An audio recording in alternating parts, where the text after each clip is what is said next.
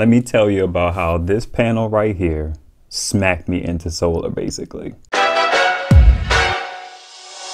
What's going on? This is I from Ask God Solar. I wanted to talk to you guys about how I first got into solar. So I grew up in New Orleans, right? And we lost power all the time. There's people in the NO right now still losing power for, you know, just raining and stuff like that. So having access to power when the power was off is very important to me. It's pretty much been embedded in my DNA through those experiences. So I was, I wanted to have um, emergency power backup so that if we lost power, I would still be able to charge phones and charge my laptop and do some editing and stuff like that uh, because we have a YouTube channel, a family YouTube channel outside of this YouTube channel. So I wasn't thinking about solar. Like, yeah, I was watching, you know, the Will Prowses, the Hobotech, the RV people, and I was watching like small, small cabin, you know, solar systems, just trying to kind of understand what solar was like because I love renewable energy. Plus, I'm a techie, you know what I mean? Like charging my devices is important to me. I have various phones. We have a tablet or two running around here. You know, it's just a whole thing. Oh, another thing that is important to me because of my past is I love flashlights. I love knives too, but we won't get into that. So the main thing I wanted was something small, budget friendly that could sit somewhere and not be used. But if, you know, I saw some rain clouds kind of coming over the horizon, if it wasn't topped off, I'd top top it off. And then if we lost electricity, I'd have power. So I'm a Facebook marketplace guy. I was on the marketplace and I see this solar panel right here, which is the Renogy 50 watt.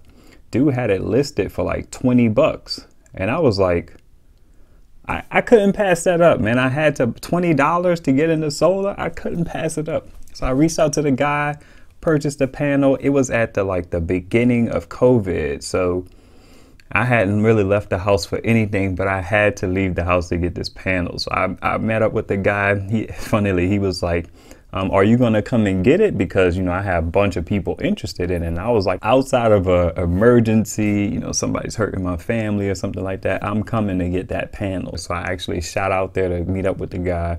We met up at a gas station. I gave him the 20 bucks. We talked briefly at a distance because um, I didn't want to play no games. I'm like, hey, you know, blessings to you, man. Thanks for the, the panel and, uh, you know, I'll holla. So I threw it in the back of the truck and that was good, uh, good money. So what that did was that pushed me into like trying to find something to use this panel with because I felt like I was just wasting power. So my dilemma now was what was I going to use this panel with? So the first thing I kind of started to research was um, there was this adapter. This particular device took MC4 to like two or four USB ports. I'm, I'm a techie, so I have multiple cell phones laying around. So I was actually gonna buy that. It was like 40 bucks. Um, I didn't like that pricing because it seemed like such a simple device.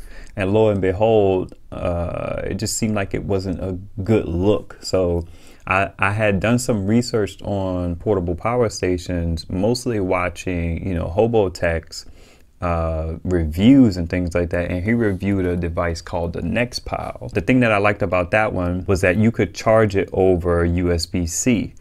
So I don't want to get too in the weeds. Actually, I'll just we'll just leave that for the next video. But I was about to buy this particular $40 device and then I just decided like, no, that's not a good look. Let me figure out what I can do with an actual portable power station because some of those cheaper ones were like coming in right around $120, $110. So why spend $40 to only be able to charge cell phones when I could get this device that could possibly power my laptop and maybe a monitor or something like that. So I had to uh, really dig into what kind of solar generator or por portable power station is what they should actually be called.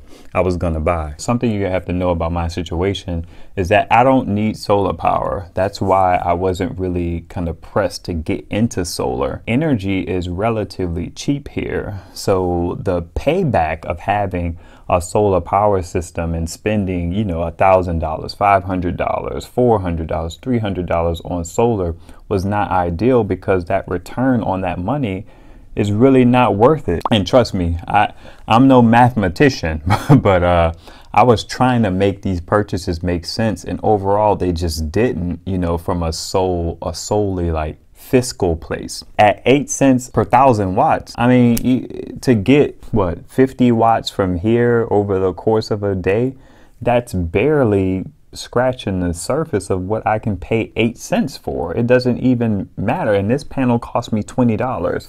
It was probably $70 new at some point, which is, you know, off the chain. So my biggest thing was to be able to use the sun as much as I can while it's out, which is why I wanted to get something to be able to pair with this panel. Storing the sun is not all that important for me.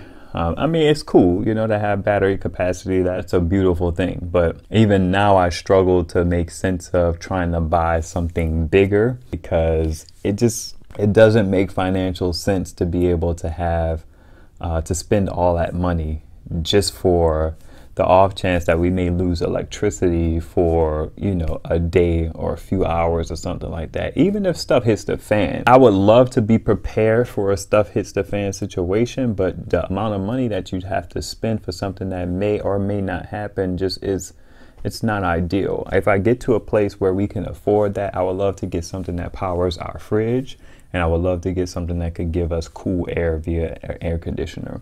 And people talk about how air conditioners, they don't use a whole lot of power, but that ramp up is so high. So even if you got a small window unit that uses about, and I've measured some, that uses about 400 watts, it may take 1500 2000 to ramp up that compressor or whatever it is that it does. So I don't know. I want to get there one day, but this was my start smacked me in the solar. I had to get something. And in the next video, I'll talk about the device that I actually got. Thanks for watching. It's I.